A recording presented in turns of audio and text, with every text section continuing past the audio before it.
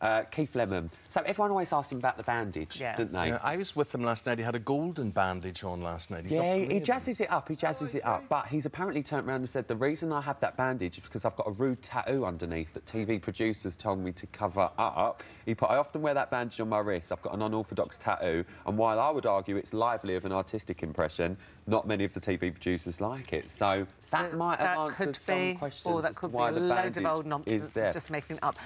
Hello, YouTube.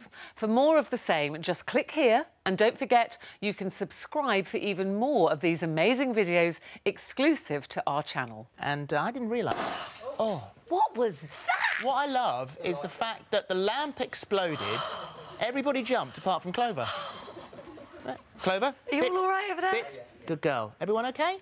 Good. you know yeah. how I didn't Happy just- Monday, everyone.